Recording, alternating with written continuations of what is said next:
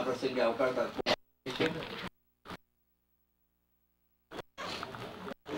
એક આપની સાથે છે, જે ન્યુયોર્કથી અહીંયા આવ્યા છે, અને બીજા ગદ્યકાર છે, જે વલ્લભ વિદ્યાનગરથી આનંદથી આવ્યા છે. પદ્યમાં જૈનભાઈ દેસાઈ એમનો કાવ્ય સંગ્રહ શબ્દ સાથે આવ્યા છે. જ્યારે જોસેફ મેકવાન આપણા પ્રતિષ્ઠિત નવલકથાકાર, વાર્તાકાર, નિબંધકાર, રેખાચિત્રોના ખાસ એમને જે ઉપસાવ્યા છે, એ જોસેફ મેકવાન પણ આપણી વચ્ચે છે. આજે એ બેઉ સર્જકોને સાંભળીને આજની સાંજ આપણે રેડિયામની બનાવવા પૂરેપૂરો પ્રયત્ન કરશું અને એમાં આપ સૌનો સાથ સહકાર રહેશે એવી આશા રાખું હવે અમારા સંસ્થાના પ્રમુખ જગદીશભાઈને વિનંતી કરું છું કે આજના બે મોગેરા મહેમાન, જયંતભાઈ દેસાઈ અને જોસે મેકવાન બેવને લઈને સ્ટેજ પર પધારે. સાથે અમારા વિમોચનકાર મેઘબિંદુ. ત્યારબાદ અમારા મંત્રી પ્રદીપ ગગલાની.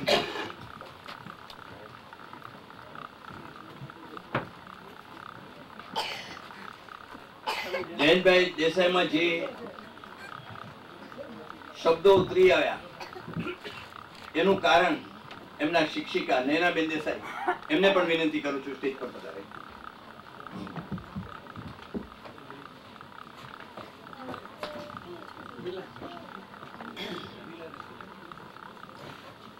સાથે સાથે સહમંત્રી અમારા મિલન અજમેરાને વિનંતી કરું, સ્ટેજ પર પધારે.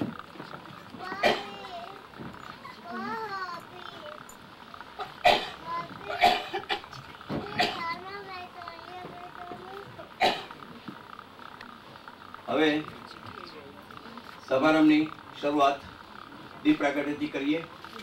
સાથે સાથે હું જસ્મીનબેન દેસાઈને વિનંતી કરું, કે અહીં પધારે.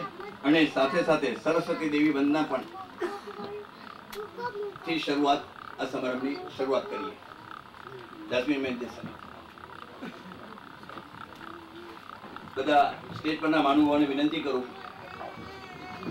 કે દીપ પ્રાગટ્ય માટે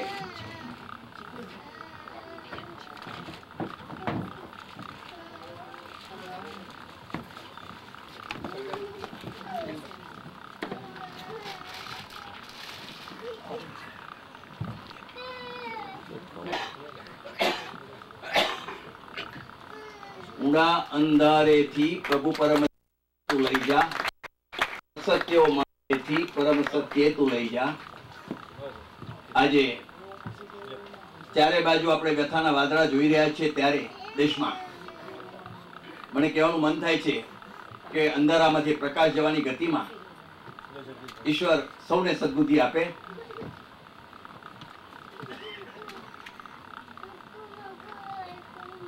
હવે જાસ્મીનભાઈ જાસ્મીનબેન દેસાઈ એમને વિનંતી કરું કે કરોતિ કલ્યાણમ આરોગ્યમ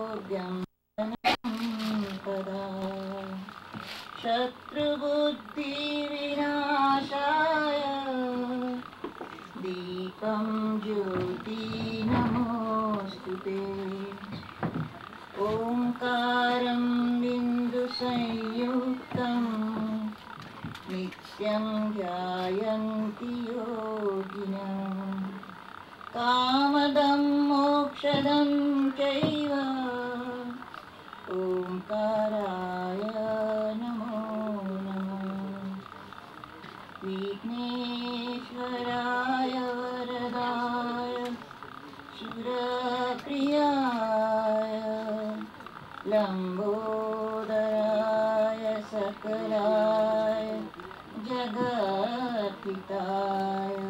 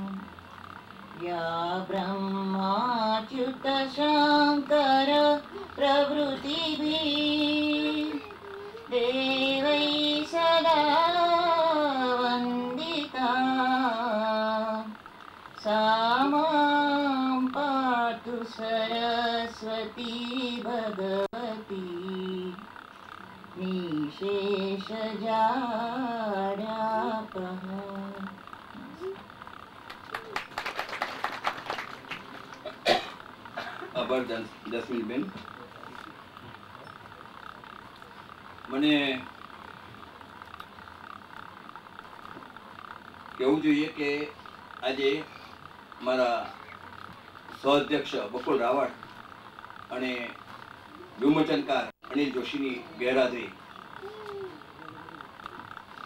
બેવને અનિવાર્ય કારણે, અનિવાર્ય સંજોગોને કારણે બહારગામ જવું પડ્યું છે, એટલે આપની વચ્ચે હાજર નથી. પણ એમના સંદેશા મારી સાથે છે, બે પહેલાં વાંચું. બકુલ રાવળ લખે છે, આપને જાણીને આનંદ થશે કે દૂરદર્શન અમદાવાદ દ્વારા આયોજિત વર્ષા કાવ્ય સંમેલનમાં ભાગ લેવાનું મને નિમંત્રણ મળ્યું છે. આ સમારોહ રવિવાર તારીખ અઢાર સાત ચારના દિને બપોરે ત્રણથી પાંચ દરમિયાન હોય. હું આજના આપના બંને કાર્યક્રમોમાં ઉપસ્થિત રહેવા અસમર્થ છું. એનું મને દુઃખ પણ છે અને મારી દિલગીરી વ્યક્ત કરું છું. ન્યુયોર્કથી પધારેલા શ્રી જયંત દેસાઈને તેમના કાવ્ય સંગ્રહ શબ્દના વિમોચન પ્રસંગે હું મારી શુભેચ્છાઓ પાઠવું છું. તેમની સાહિત્યિક કારકિર્દી ઉત્તરોત્તર વિકસતી રહે. તેવી પ્રાર્થના. ઉપરાંત, સુપ્રસિદ્ધ સર્જક અને મિત્ર શ્રી જોસેફ મેકવાનને સાંભળવાનું પણ ગુમાવ્યાનું મારું દુઃખ વ્યક્ત કરું છું. તેમને સાંભળવો એક લાવો છે. તેમને મારા વંદન. ઉપસ્થિત સૌ સાહિત્ય પ્રેમીઓ સમક્ષ હું મારી દિલગીરી વ્યક્ત કરું છું અને કાર્યક્રમની સફળતા ઈચ્છું છું, બકુલ રાવ. એવો જ બીજો સંદેશ. અનિલ જોશી જે જૈન દેસાઈના પુસ્તકનું વિમોચન કરવાના હતા. જ્યારે મને જાણ થઈ અને જયંતભાઈની ખૂબ જ ઈચ્છા હતી કે કોઈ પણ સંજોગોમાં આ પુસ્તક અનિલભાઈ વિમોચન કરે તો મને ખૂબ ગમશે. અનિલભાઈને મેં જણાવ્યું અને તરત જ એમને હા પાડી હતી. અચાનક કોઈ એવા કારણો આવી ગયા અને એમને ના છૂટકે મુંબઈની બહાર જવું પડ્યું, એટલે આપની વચ્ચે હાજર રહી શક્યા નથી. એમનો સંદેશો છે, પોતાની માતૃભૂમિથી હજારો માઇલ દૂર વસતા એવા ગરવા ગુજરાતીને માતૃભાષા યાદ આવે છે ત્યારે એનામાં રહેલું કવિત્વ એકાએક આજ્ઞાની જેમ ઝબકારા મારવા લાગે છે. જયંત દેસાઈની રચનાઓમાં હું પસાર થયો ત્યારે મને લાગ્યું કે આ કાવ્ય સંગ્રહ કોઈ શિક્ષકે કહેલા પ્રોજેક્ટ માટે લખાયો નથી. શિશુ અવસ્થામાં એના શિક્ષક પૂછે છે, તને કાવ્ય લખતા આવડે છે? આનો જવાબ જયંત દેસાઈએ શબ્દ દ્વારા આપી દીધો છે. જયંત દેસાઈની રચનાઓમાં અનુભૂતિની સચ્ચાઈ છે, તેમજ ઉર્મી પણ છે. સાથોસાથ કાવ્ય પદાર્થની સમજ પણ દેખાય છે. મોટે ભાગે અમેરિકન જીવનનું પ્રતિબિંબ ગુજરાતી શબ્દોમાં ઝીલાયું હોય એવો અનુભવ થાય છે. કવિ કહે છે કે, મારા ભૂતકાળના પતનોની બારાખડીથી મારી હયાતી સરેઆમ ભોગવાઈ ગઈ છે. પણ કવિને આશા છે કે જો સૂર્યોદય થઈ જશે, પછી આકાશના તારાની જેમ, છતાં પ્રકાશે હું અદ્રશ્ય થઈ જઈશ. સુરતની હયાતી નાનકડા તારલાની હયાતીને નકારી શકતી નથી. જયંત દેસાઈના કોઈ કોઈ કાવ્યમાં વ્યંગ પણ આવે છે અને ક્યાંક આક્રોશ પ્રતિકા છે. ગીત રચનાઓ પણ એમને લખી છે. એમાં, એમનો શબ્દ લય સાથે ઓગળી જાય છે. લયની હથોટી પણ અનુભવાય છે. જયંત દેસાઈ અમેરિકામાં રહીને ગુજરાતી ભાષામાં કવિતાઓ લખે છે. એનો ઓછવ ઉજવવામાં કોને હરખ ના થાય? સાહિત્યમાં તો બોલે એના બોર વેચાય છે. પણ જયંત દેસાઈના બોર શાક માર્કેટમાં વેચાતા બોર નથી. પણ સબરીના બોર છે. જયંત દેસાઈની કાવ્ય યાત્રાને હું મારા અંતઃકરણ પૂર્વકની શુભેચ્છા પાઠવું છું. આ સમારંભમાં ઉપસ્થિત રહેવાની મને ઘણી હોશ હતી, પણ હાજર નથી રહી શકતો એ માટે દિલગીર છું. અનિલ જોશી. મને કહેતા આનંદ થાય છે કે ગીત રચનાઓ જે લાઈવ રાખવાના હતા આપણે અનફોર્ચ્યુનેટલી એ પણ આવી શક્યા નથી. પણ કેસેટમાં આપણી સાથે છે. એટલે એનો ઉપયોગ ઇન્ટરવલ પછી આપણે ચોક્કસ કરશું અને ત્યારે એમની કાવ્યરત્નાઓને સંગીતથી મળેલી કાવ્યરત્નાઓને પણ આપણે માણીશું. હવે અમારા સંસ્થાના પ્રમુખ જગદીશભાઈ લોદરિયાને સ્વાગત પ્રવચન કરવા વિનંતી.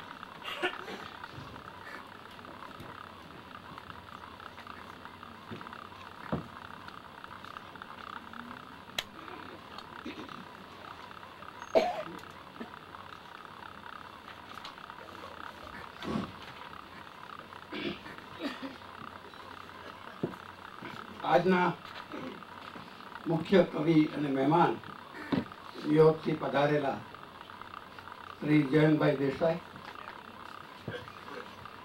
એમના શબ્દ કાવ્ય સંગ્રહનું વિમોચન કરવા કરનાર પ્રખ્યાત કવિ શ્રી મેઘબિંદુ. અને જેને સાંભળવા બધા આતુર છે. અને ક્યારેક જ બોમ્બે આવી અને લોકોને એમના જ્ઞાનનો લાવો આપે છે એવા મારા પરમ મિત્ર જોસેફભાઈ મેકવાન, નૈનાબેન, ડૉક્ટર નૈનાબેન, સાહિત્ય સમિતિના અધ્યક્ષ જયંતિભાઈ દલાલ, પ્રદીપભાઈ ગગલાણી, મિલન અજમેરા, ભીખુભાઈ વસા ઇન્દુબેન, અમારા વાઇસ પ્રેસિડેન્ટ અનિલભાઈ શાહ, વિનયભાઈ પાઠક, ઘણા છે અમારા કારોબારીના સભ્યો પણ હાજર છે. આજે સવારે જોસેફભાઈનું વિલેપાલેમાં જીમખાનામાં સુંદર પ્રવચન હતું. મને એમાં હાજર રહેવાનો લાભ મળેલો. પ્રોફેસર અશ્વિન મહેતા કમ્પેર કરતા હતા. એનું સ્વાગત કર્યું. ત્યારે કહ્યું કે લોકો સાહિત્ય પાસે ટાઈમ પાસ કરવા જાય છે. પછી કે કે ના મુંબઈમાં તો ટાઈમ કિલ કરવા જાય છે. પરંતુ એવું નથી. સાહિત્ય રસિકો જે આ હોલ ઉઘરાવી દીધો છે, એ બતાવે છે કે મુંબઈમાં સાહિત્ય રસિકો છે અને સાહિત્યને સાંભળવા સવા છ સ્ટાર્ટ કરવાનું હોય તો છ ને દસે બધા હાજર થઈ જાય છે. ખરેખર, તમે જે આટલી સુંદર હાજરી આપો છો, એમાં અમારો ઉત્સાહ ખૂબ જ વધે છે. અમારા સાહિત્ય સમિતિના અધ્યક્ષો બકુલભાઈ હાજર નથી, પણ જયંતિભાઈ, દર મહિનાનો programme I tell you March સુધીના કવિઓ અને લેખકોનો પ્રોગ્રામ નક્કી કરી રાખ્યો છે. લોકોની ડેટ લઈ લીધી છે અને દરેક વખતે એનાઉન્સમેન્ટ આપણે કરતા હોઈએ છીએ. અને આપણા તરફથી સુંદર પ્રતિભાવ મળે છે. અને હવે તો આ હોલ પણ નાનો પડવા માંડ્યો છે. અમે પહેલેથી કીધું કે ભાઈ આપણે ભારતીય બેઠકની પણ વ્યવસ્થા કરવી પડશે. અમારા પંડ્યા આ આગળ ક્ષેત્રજી પણ લઈ આવ્યા છે. તો કોઈને અગવડ હોય અને નજીકથી સાંભળવા હોય તો અહીંયા પણ જગ્યા છે. સોરી બધાને અમે સમાવેશ નથી કરી શકતા. પણ ફરીથી આપ સર્વનું હાર્દિક સ્વાગત કરું છું અને હંમેશા અમારા કાર્યક્રમમાં આપ આવી હાજરી આપશો એવી અપેક્ષા રાખું છું. ધન્યવાદ. આભાર જગદીશભાઈ. હવે આપણે સ્ટેજ પર મહાનુભાવનું ભાવ સન્માન કરશું. સૌ પ્રથમ આપણા લગદર પ્રતિષ્ઠિત નવલકથાકાર વાર્તાકાર જોસેફ મેકવાનનો સન્માન કરશું.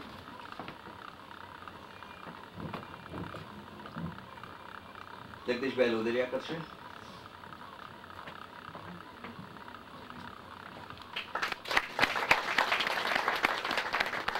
કવિ શ્રી મેઘબિંદુનું સન્માન પ્રદીપભાઈ કરશે.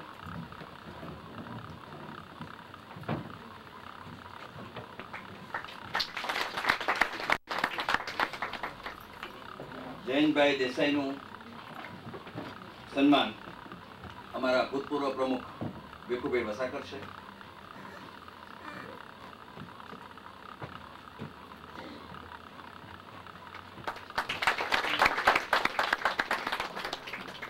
અને છેલ્લે ડૉક્ટર નૈનાબેન દેસાઈનું બહુમાન આપણા મંડળના સહમંત્રી મિલનજભાઈ રાખો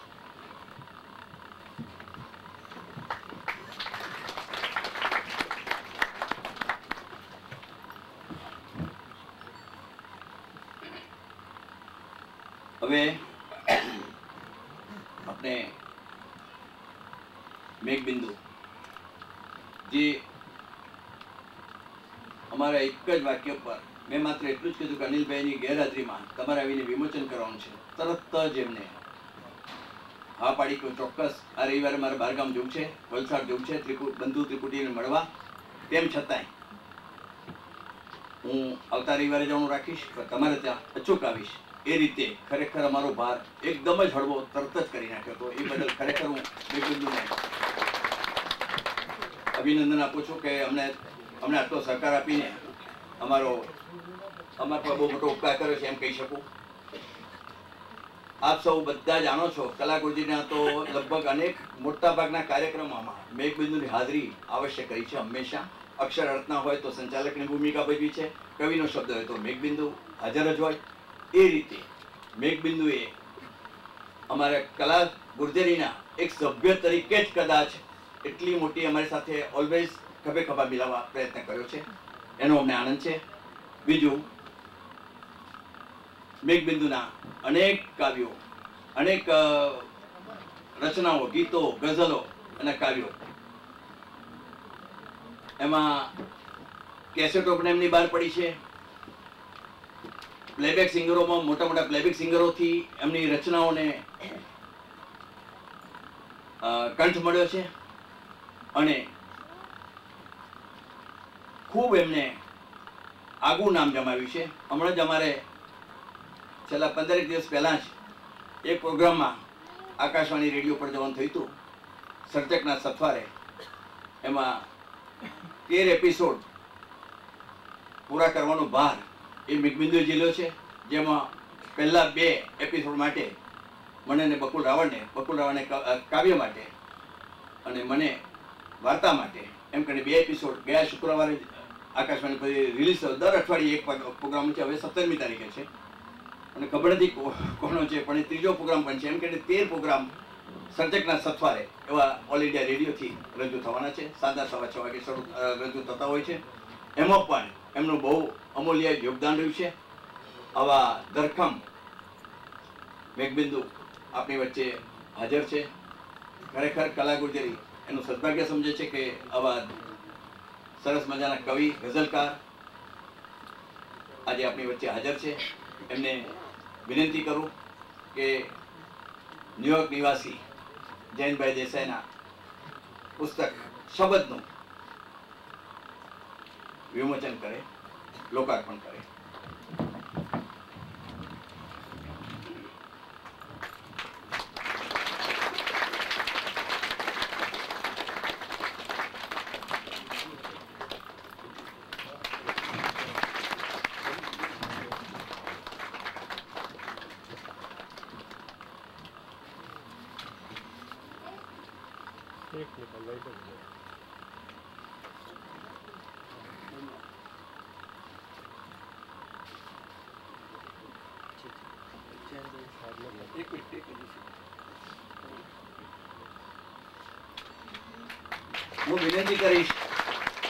જયંતભાઈ દેસાઈ.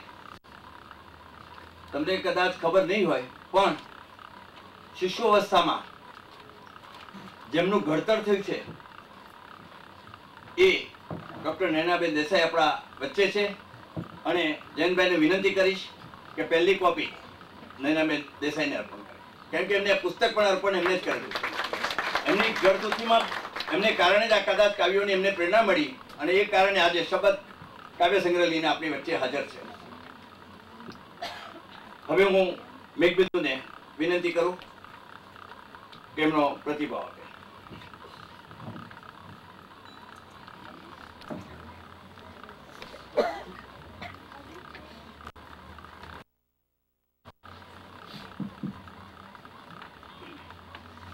કલા ગુર્જરીના પ્રમુખ જગદીશભાઈ. શબ્દના સર્જક જયંતભાઈ, જોશીભાઈ મેકવાન જયંતિભાઈ, નયનાબેન અને મિત્રો. કલા ગુરુજી સાથે એક બહુ જ આત્મીય નાતો છે. એમ જયંત, જયંતિભાઈએ કહ્યું તેમ કે વર્ષોથી કલા ગુર્જરીની શરૂઆત થઈ છે ત્યારથી એક યા બીજી રીતે આ સંસાર સાથે સંકળાવાનું રહ્યું છે જોડાવાનું રહ્યું છે. અને તેનો એક આનંદ છે. આજે એક કવિના પુસ્તકનું વિમોચન કરવાનું ઘણા બધા મુંબઈની અંદર તો રોજે રોજ કંઈક ને કંઈક આ વિમોચનના પ્રસંગો યોજાતા હોય છે. આ એક્ઝેક્ટલી વિમોચન છે શું? આપણે વિચાર કરીએ, આ વિમોચન વિમોચન રોજ છાપાની અંદર વિમોચનના કાર્યક્રમોની જાહેરાત આપણે બહુ મોટે પાયે જોઈએ છીએ. તો આ વિમોચન છે શું?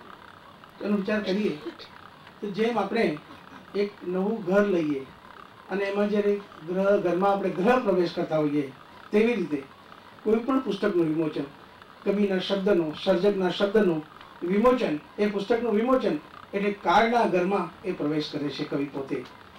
કવિતા દ્વારા, પોતાની વાર્તા દ્વારા, પોતાના સર્જન દ્વારા એ કવિનો, કવિના શબ્દનો એ કાળના ઘરમાં પ્રવેશ છે.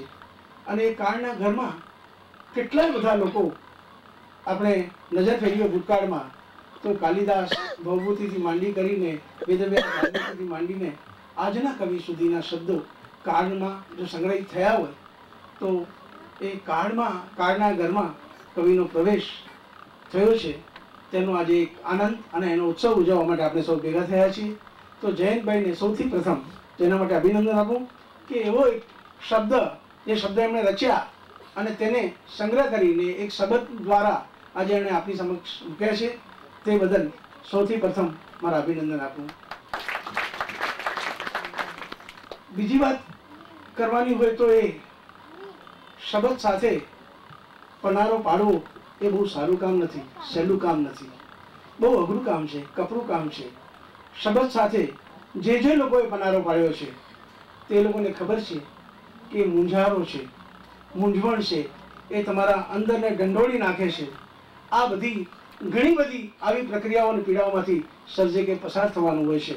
અને એ રીતે શબ્દ સાથેનો પનારો હું કહું છું કારણ કે હું પોતે લખું છું, એટલે ઘણી વખત રાતોની રાતો તમારી એમને વ્યથિત થઈ જતી હોય છે. જયંતભાઈના પરિચયમાં લખાયું છે કે ઘણી વખત એમણે કવિતાઓ, કવિતાનો વિચાર કોઈ ચબરખી ઉપર, કોઈ ટિકિટની ઉપર, આવું બધું લખાયું છે. દરેક સર્જકની આ જ એક મથામણ હોય છે. જ્યારે એક શબ્દ એની પાસે આવે છે, એક વિચાર એની પાસે આવે છે, એક કાવ્ય એની પાસે આવે છે, ત્યારે એની પાસે કાગળ હોતો નથી. અને કાગળ જ્યારે ન હોય, ત્યારે જે કંઈ હાથમાં આવ્યું, તેના ઉપર માણસ સર્જક એ ટપકાવી લેતો હોય છે અને પછી એને પોતાનું સ્વરૂપ આપતો હોય છે. એટલે આ રીતે એક કવિ જ્યારે કવિતા લખે છે, કવિતાના કવિના પ્રાંતમાં, કવિતાના પ્રાંતમાં જ્યારે જાય છે, ત્યારે ઘણી બધી, ઘણી રીતે મથામણો અનુભવતો હોય છે. જયંતભાઈ નસીબદાર છે. કારણ કે જ્યારે એમણે લખવાની શરૂઆત કરી, ત્યારે નૈનાબેન જેવા શિક્ષિકા મળ્યા. હમણાં થોડા વખત પહેલાં જ એક સ્કૂલમાં ગયેલો, એસએસસીના વિદ્યા સમારંભ વખતે. ત્યારે શિક્ષકોની ફરિયાદ હતી. ફરિયાદ હતી પોતાની એક વાત કરતા હતા કે અમે તમે નવ નવ વર્ષ તમે સાથે રહ્યા, દસ દસ વર્ષ તમે સાથે રહ્યા, તો અમને ભૂલી નહીં જજો તમારા તમે તમારી જીવનની અંદર જે કારકિર્દી તમે અનુભવો, ત્યારે અમને યાદ કરજો. આ બધું કહેવું પડે શા માટે? જો તમે વિદ્યાર્થીને પ્રેમ કર્યો હોય, તો આ બધું કહેવાની જરૂર નથી.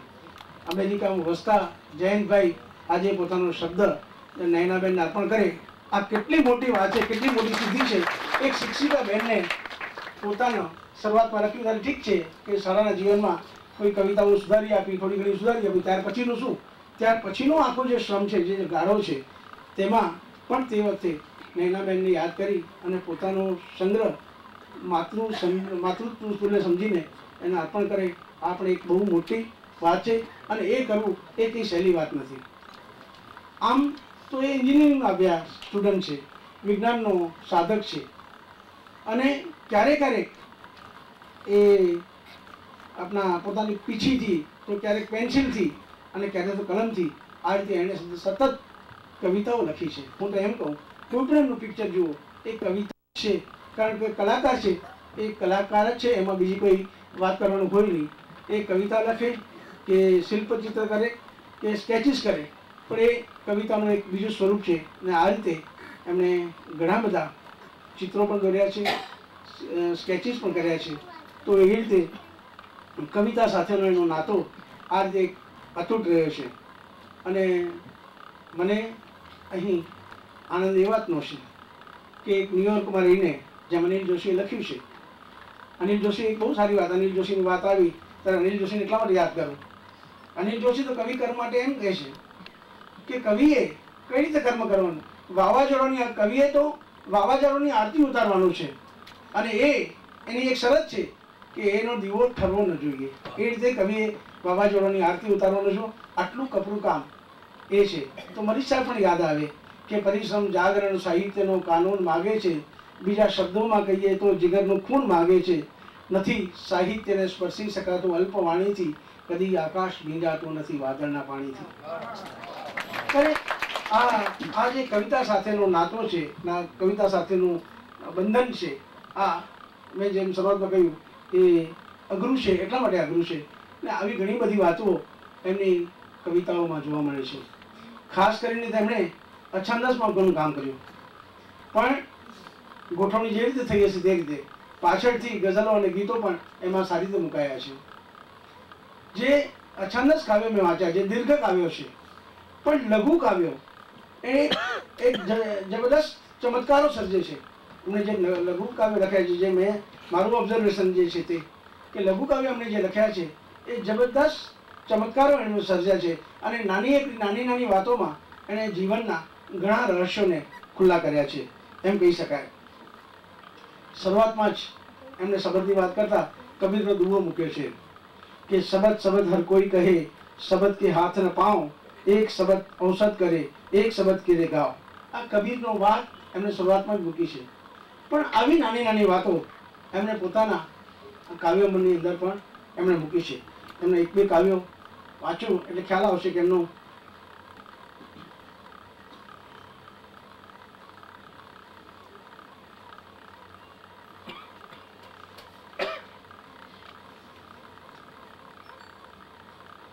એમને કવિતા કઈ રીતે મળી છે તેની વાત કરતા એ લખે છે કે, મારી ડાયરીને પહેલે પાને તે કરેલા હસ્તાક્ષરમાં દાખલ થયા પછી આડું અવળું દોડીને મારા વિચારો બહાર નીકળે છે ત્યારે બની ગયું હોય છે એક કવિતા.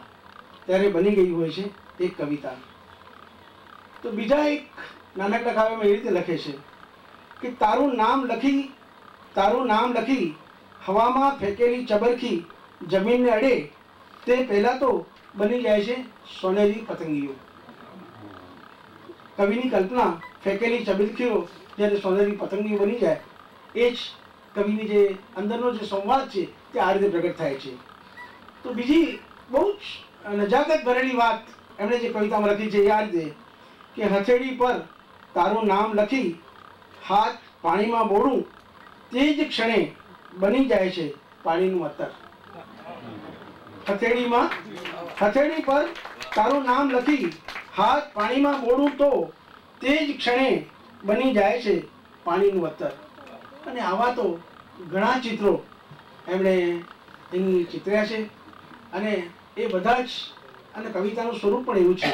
બધી વાતો કેવી ન જોઈએ.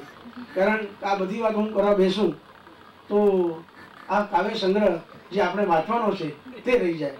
અને એ પાપ હું ન કરું. અને એમણે પોતે, અને બીજી વાત, એક જે આ બધા કાવ્યમાંથી પસાર થતા મને લાગી છે. એમની જે જે છંદોબદ્ધ જે ગીતો લખ્યા, તેમાં તળપદા શબ્દો, તળપદી બોલીના શબ્દો, લોક બોલીના શબ્દોનો ઉપયોગ બહુ જ સારો કર્યો છે. એણે અંગ્રેજી શબ્દોનો પણ બહુ છૂટછાટથી ઉપયોગ કર્યો છે.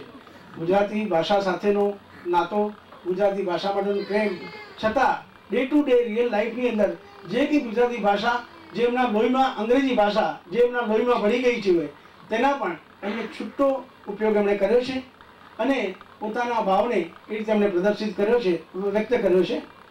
અને આવા જે લોકબોલીના જે ગીતો છે, તેની એક નાનકડી વાત એ રીતે એક જ ઉદાહરણ આપું. ફરી વાર જો પીછે ગયો તો મારા ગળાના હમ ગળાના હમ, આવો જે શબ્દ પ્રયોગ જે છે, સામાન્ય રીતે કોઈ પણ કવિ આ રીતે ન કરે. પણ એમને જે રીતે વાત આવી છે, એ રીતે એમણે આ વાતને મૂકી શબ્દોમાં મૂકી છે અને ક્યારેક ગઝલની અંદર પણ હું મને પોતાને રહસ્યમય લાગું. હું મને પોતાને રહસ્યમય લાગું, લિંગ વગરનું જર્જય શિવાલય લાગુ. અહીં મને આપણા પ્રફુલ્લ પંડ્યા નો એક શેર યાદ આવે કે, મેં જ વગાડ્યા મારા ડંકા, મેં જ વગાડ્યા મારા ડંકા ને મંદિર જેવી જાત કરી છે. ત્યારે આ આવી ઘણી બધી વાતો આ સંગ્રહમાં સંગ્રહિત થઈ છે. અને કવિતાનું સ્વરૂપ આમ પણ લાઘવ સ્વરૂપ છે, નાનું સ્વરૂપ છે, એટલે વધારે બોલવું એ પણ ન ચાલે. ત્યારે અહીં મારી શુભેચ્છા વ્યક્ત કરું છું. જયંતભાઈનો શબ્દ આ રીતે જ બહુ જ સુંદર રીતે નક્કર થઈને બહાર આવે. સાહિત્યને, સાહિત્યનું કામ તો અજવાળવાનું છે બાળવાનું છે જ નહીં. અજવાળવાનું કામ છે તે આવું અજવાળવાનું કામ અજવાળું આપવાનું કામ એ જયંતભાઈના આવા બીજા જ ભવિષ્યમાં જે સંગ્રહો થાય તેમાં નખરસિંહને બહાર આવે. મારી પ્રસન્નતા વ્યક્ત કરું છું અને આ સંગ્રહને હું સ્વીકારું છું અને આજે લોકાર્પણ કરવાનો ખ્યાલ કરું છું. થેન્ક યુ વેરી મચ મેઘબિંદુએ સર્જકની સંવેદનાની જે વાતો રજૂ કરી, એમાં સચ્ચાઈનો રણકો દેખાતો હતો. સર્જક તરીકે કોઈ પણ સર્જક લખતું હશે. એની પાછળ, એની સચ્ચાઈ, આજે સવારના જ અમે જૂ જાગૃતિ જૂ જીમખાના ક્લબમાં હતા, ત્યારે જોસેફ પેપરને આપણે પછી સાંભળવાનું છે. એ જ વાત કરે છે કે જેટલી સચ્ચાઈથી હું રજૂઆત કરું છું, એટલી સચ્ચાઈથી મને બદલો પણ મળશે એટલું સરસ રીતે લખાય છે, સચ્ચાઈ ભર્યું લખાણ હશે તો તમારો ગુજરાતી વાંચક વર્ગ કે જે વાંચક વર્ગ છે, એને અપીલ કરશે કરશે કરશે. પણ સચ્ચાઈ ભરી હોવું જોઈએ. એ પહેલી શરત છે. એક માત્ર કલ્પના ના ચાલે. એટલે જે મેઘબિંદુ વાત કરી કે સર્જકની સંવેદના અને સચ્ચાઈ પૂર્વક જો લખાઈ હોય, તો એને ચોક્કસ આપણે બધા જ વધાવી લેતા હોઈએ છીએ. એમને સરસ બીજી વાત કરી શિક્ષિકા અને શિષ્ય વચ્ચેનો સંબંધ. આજે છોતેરમાં, મને લાગે ત્યાં સુધી વીસેક વર્ષની પહેલાની વાત છે કે જ્યારે એમને કાવ્યો લખ્યા હતા અને સ્ફૂર્ણામાં નૈનાબેને બહુ મોટો ભાગ ભજ્યો હતો. કેમ કે એ પોતે જ કહે છે કે આજે કદાચ નૈનાબેને મને જો કીધું ના હોત કે મારામાં આત્મવિશ્વાસ જગાડ્યો ના હોત, તો આ કાર્યો હું આજે પણ પૂરા કરી શક્યો ના હોત. બીજી વાત કરી એમને કે કવિતા વિશે અંગ્રેજી શબ્દોની ભરમાર છે. મને પણ પોતાને લાગ્યું, જ્યારે હું આખો સંગ્રહ જોઈ રહ્યો હતો, ત્યારે મેં પણ મારે કમ્પલસરી ઇંગ્લિશ ડિક્શનરીમાં ક્યાંક ક્યાંક રેફર કરવું જ પડ્યું એટલા ભરમાર શબ્દો, એટલા બધા હું એકાદ બે વાર એમને જયારે પરિચય આપી તમને. પણ કહેવા માંગુ છું કે અંગ્રેજી શબ્દોનો લખલૂટ ઉપયોગ કરે છે, પણ તમને છતાંય કાવ્ય આસ્વાદ જેમાં મેઘબિંદુ કીધું મુજબ, ક્યાંય તમને લય તૂટતો નથી, કે એનું પ્રાસંગ એનું જે લાગો સ્વરૂપ જે આપ્યું છે ને, એ બહુ સુંદર રીતે રજૂ કર્યું છે. એ બદલ ખરેખર આપણે જૈનભાઈને અભિનંદન આપીએ. હવે જૈનભાઈને જે આ શિખરે પહોંચાડવામાં જેમને બહુ મોટો ભાગ ભજવ્યો છે, એવા નૈનાબેન ખાસ વલસાડથી આપની વચ્ચે હાજર છે અને આપણે એમને જ હવે સાંભળીએ.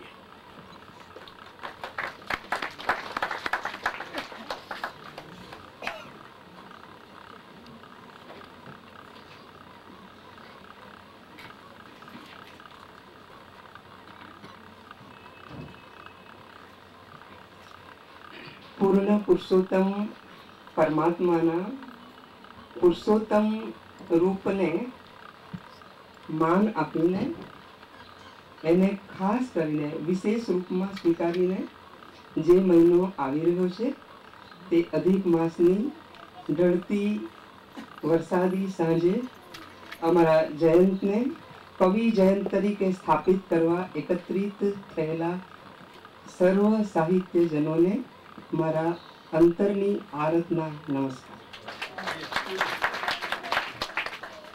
ખરેખર પૂછો તો આ આધ્યાત્મિક દ્રષ્ટિએ જેની શરૂઆત થઈ છે એવી વાતની, ભૌતિક સમૃદ્ધિની છલોછલ છલકાતી આ મોહમય નગરી મુંબઈ અને તેમાં ગુજરાતી સાહિત્યના આટલા બધા રસિકજનો એને મળતા ખરેખર હરખથી કયું પુલકિત થઈ રહ્યું છે?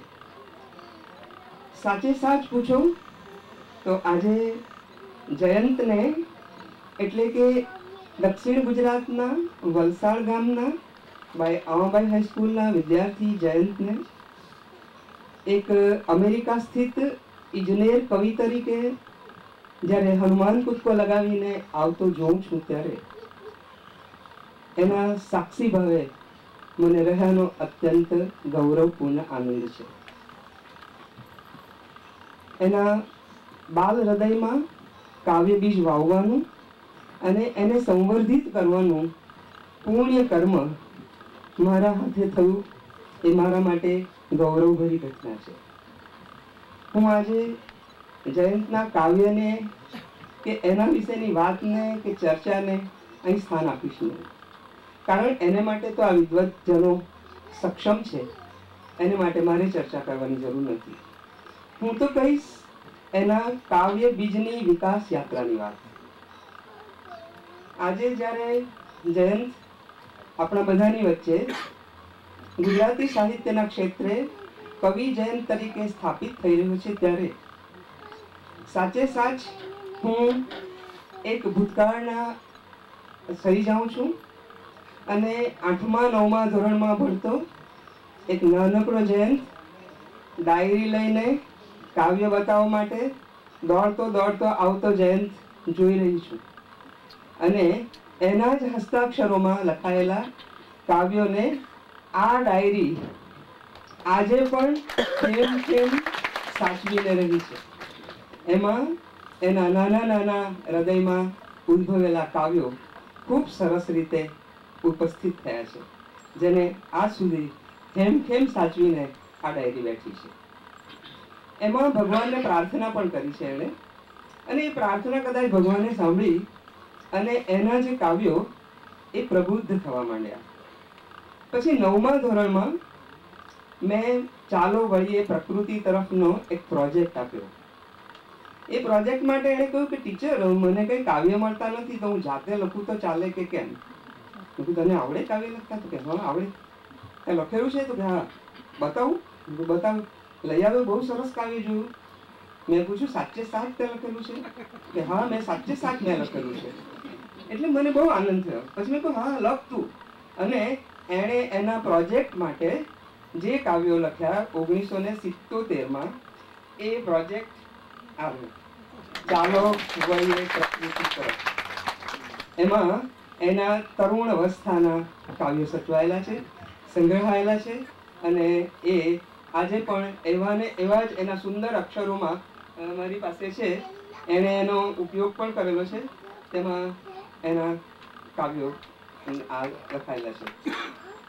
એ સાથે સાથે અક્ષર બતાવ્યા ત્યારે એક વાત કરી રાખું કે એને સ્ટેટ લેવલમાં અક્ષર માટે પ્રથમ પ્રાઇઝ પણ મળ્યું હતું. એટલે સુંદર અક્ષરો એના હતા, એ અક્ષરો પણ હજી સચવાયેલા છે. ત્યાર પછી મને એમ લાગ્યું કે એનામાં સર્જન શક્તિ છે. અને એ સર્જન શક્તિને આપણે પાંગરાવવી જોઈએ. એટલે એમ કહ્યું કે ભાઈ તું દર શનિવારે એક કાવ્ય લખી લાવ. અને એ દર શનિવારે એક કાવ્ય લખી લાવે. હું એને મારાથી બને તેવી રીતે રિપેર કરીને આપું. એ સોમવારે લઈ જાય, બીજા શનિવારે પાછો લખી લાવે. એ જ રીતે સિલસિલો ચાલુ થઈ ગયો. અને તે છેક એન્જિનિયરિંગ કોલેજ સુધી. એ સિલસિલો ચાલુ રહ્યો. અને પછી તો એની કવિતાઓ પાંગરતી રહી પાંગરતી રહી, પલ્લવિત થતી રહી. અને યુવા કાવ્યો એના તે યુવા જયંતના હસ્તે બે ગ્રંથોમાં અમારી પાસે આવ્યા. તે આ બે ગ્રંથો શબદ એક અને શબદ બે. એ બંને એના સુંદર કાવ્યોનું અને ખાસ કરીને સાહિત્ય કક્ષાને ઊંચી એવી ક્ષિતિજે પહોંચાડી શકે. એવી કક્ષાના એના કાવ્યો એ સ્પર્શી રહેલા હતા. અને ત્યારે સાચે સાચ મને આનંદ થયો હતો કે ખરેખર સરસ જયંત, બહુ સરસ. આનંદ વિભોર હયું, એથી વિશેષ જાજુ કંઈ બોલી શકે એમ નહોતું.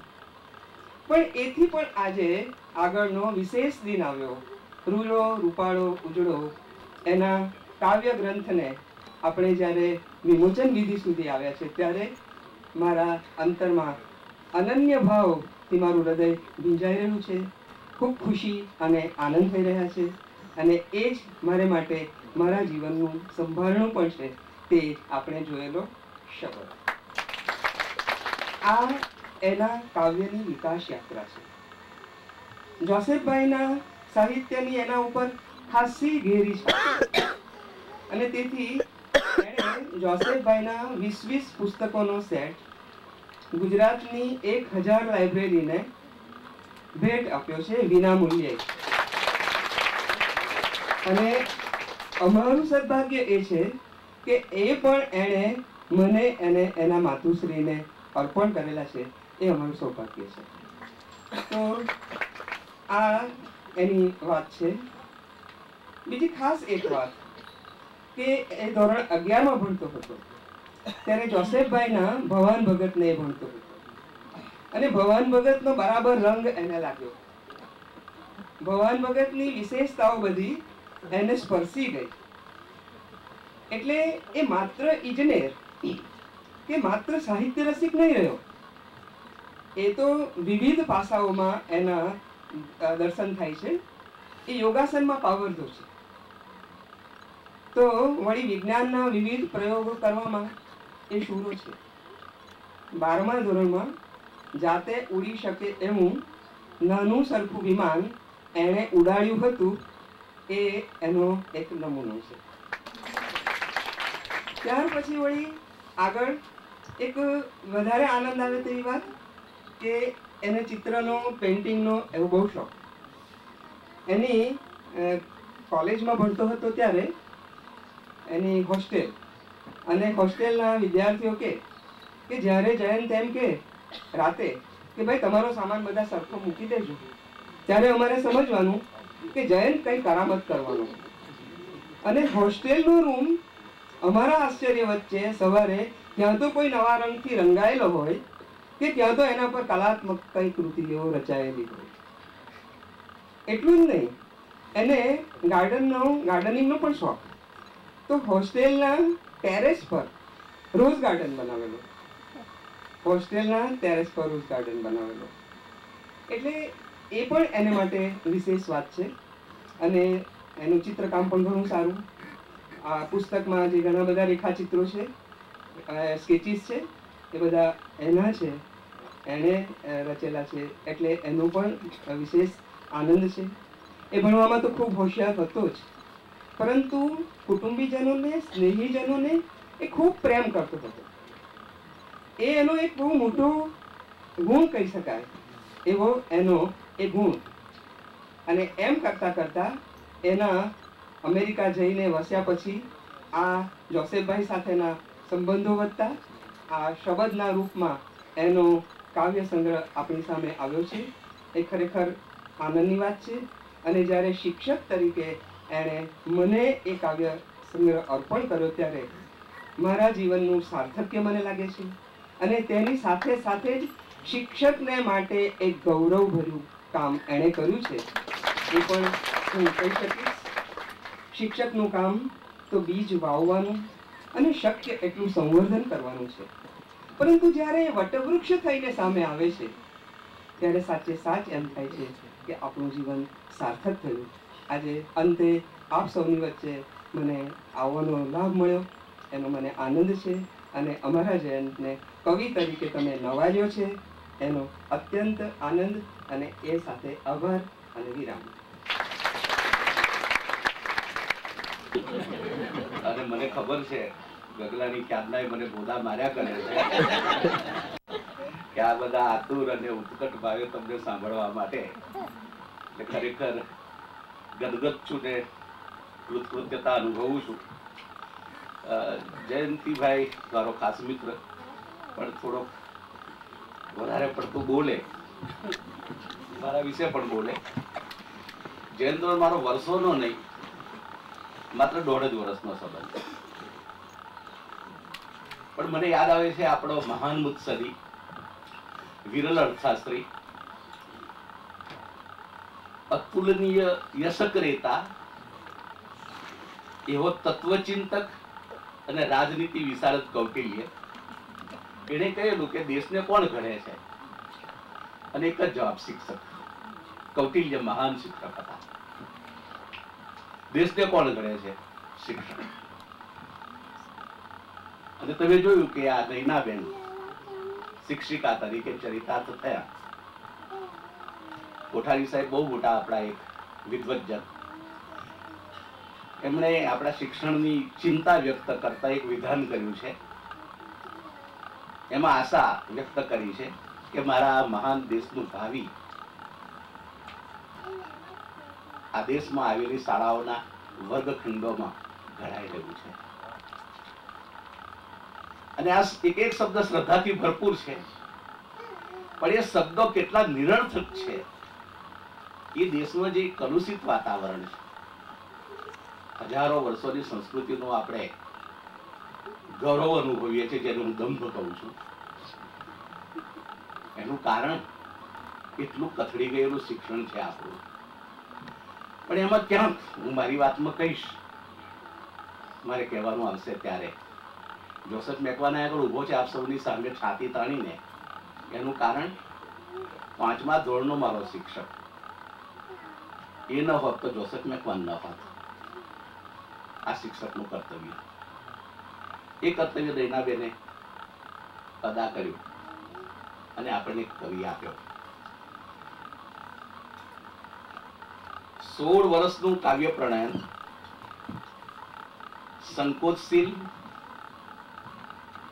અત્યંત પેલી લજામણી જેવો સોળ સોળ વર્ષ સુધી સરસ કાવ્યો રચ્યા છતાં કોઈ પણ મેગેઝિનમાં એને પોતાની કૃતિ મોકલી નથી. અને બે જે સંગ્રહ નૈનાબેને તમને બતાવ્યા, એ બે સંગ્રહોના પુઠાની વચ્ચે એ કાવ્યો ટાઈપ થઈ અને પડી રહ્યા હતા. નૈનાબેને જ મારા પુસ્તકો એમને આપ્યા હશે. એ વાંચતા એમને ક્યાંથી પ્રેરણા જાગી? એક દિવસે દોઢેક વર્ષ પહેલા સાડા દસ વાગે ફોન આવ્યો એટલે મને લાગ્યું કે આ કોઈક લાંબા અંતરેથી આવી રહ્યો છે ફોન ભૂંગળું લઈને કાને માંડ્યું. હલો મારે જોસેફભાઈ સાથે વાત કરવી છે. મેં હું પોતે જ બોલું છું ખુદ જોસેફભાઈ બોલું છું. તમે જ બોલો છો સર? મેં કહું હા. હું જયંત દેસાઈ બોલું છું અમેરિકાથી.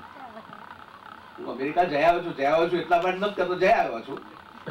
જોઈ આવ્યો છું. શું જોયું એ પણ લખ્યું જ મેં. ખેર, જયંતભાઈને હું ક્યાંય મળ્યો નથી. કે મારે એક કામ છે આપનું રૂપમાં આવશે તો કે સાહેબ ના કહેશો હું તો જુવાન છું. અચ્છા મિત્ર. બહુ સારું બોલો. તો કે સાહેબ તમારા પુસ્તકો વાંચ્યા અને મારા મનમાં એક સંકલ્પ જાગ્યો છે અને હું કૃત સંકલ્પ થયો છું. કઈ વાતે ભાઈ?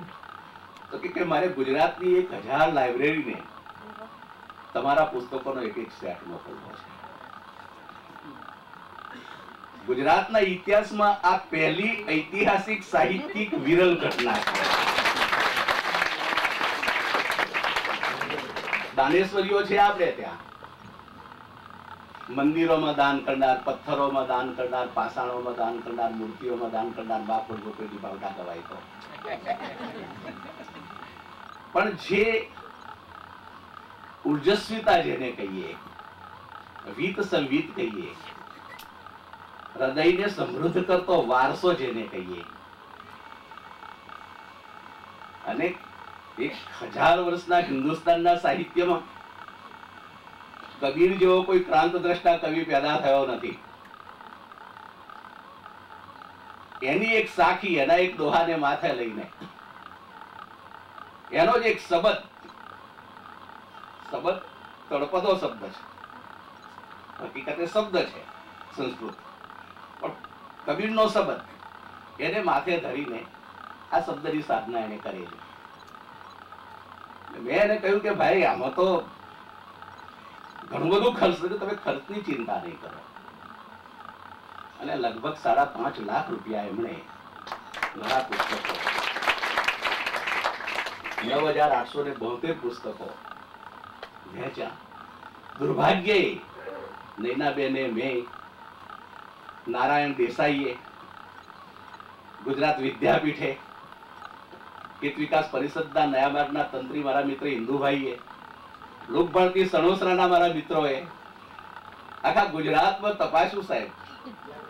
માંડ ત્રણસો પુસ્તકાલયો જીવતા મળ્યા અમને. માંડ આપણે ધનાઢ્ય નથી. બહુ ગરીબ છીએ. એટલે મેં કહ્યું કે પુસ્તકાલયોનું તો નહીં બને, જયંતભાઈ. પણ જે સારી કોલેજો છે, સારી શૈક્ષણિક સંસ્થાઓ છે, જ્યાં આદર્શ શિક્ષકો છે જે માતૃભાષા ગીરા ગુર્જરીના સાધકો છે. એવાઓને પુરસ્કૃત કરીએ. તો કે મને વાંધો નથી. અને એ રીતે દસ હજાર પુસ્તકો વેચાય.